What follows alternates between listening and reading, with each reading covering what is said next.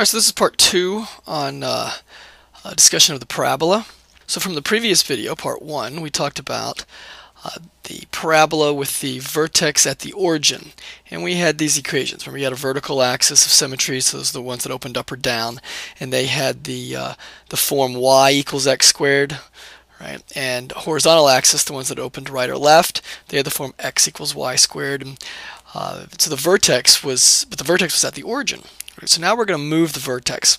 So remember from previous knowledge that if we wrote this thing as y equals 1 over 4c, and we had, say, like x minus h squared plus k. Remember what that minus h and plus k thing, remember what that did to your graph, right? Well, remember this, the x minus h thing, that moved your graph right or left, depending on if h was positive or negative.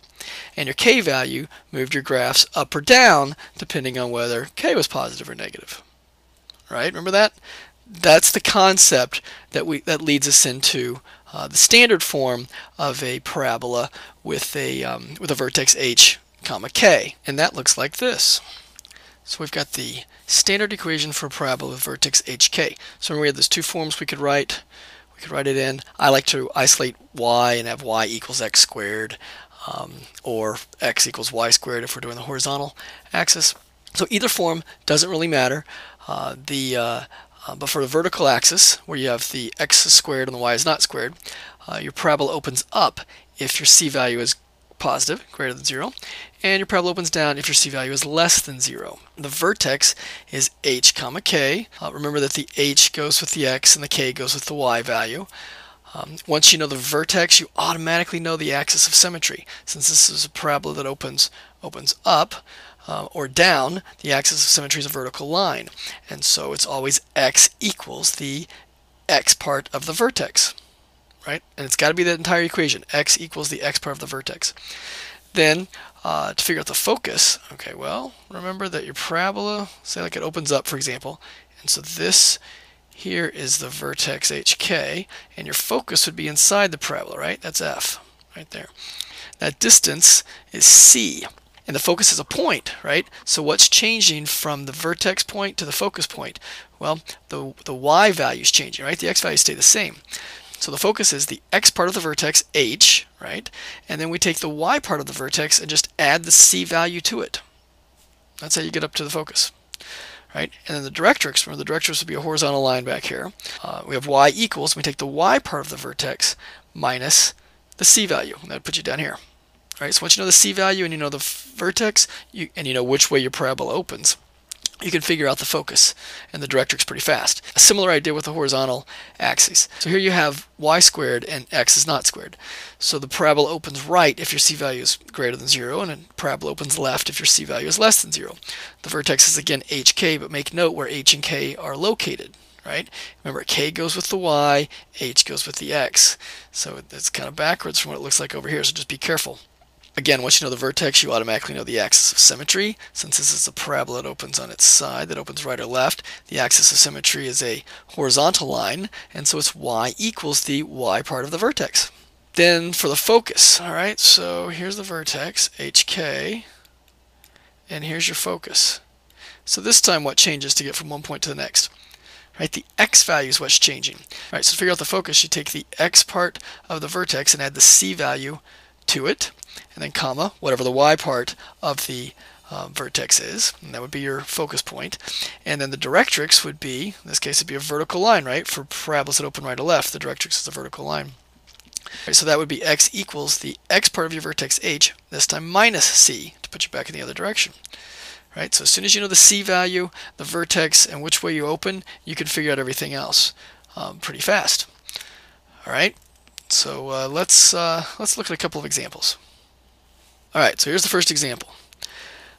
All right, so which way does it open? All right, anybody guess?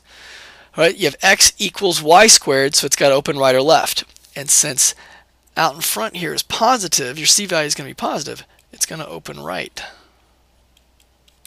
What's the vertex? When we're in this nice form, we can read the vertex off immediately. Right? And it would be what's the h value? The h value is over here, goes with the x, that's 1, and the y value, the um, k value uh, goes with the y there, so it's 2. So the vertex is 1, comma 2, which means we automatically know the axis of symmetry. We know it opens right. The vertex is 1, 2, so the axis of symmetry has to be y equals 2. Okay, so now let's go off to the side here and find c. All right, so 1 eighth has to equal 1 over 4c.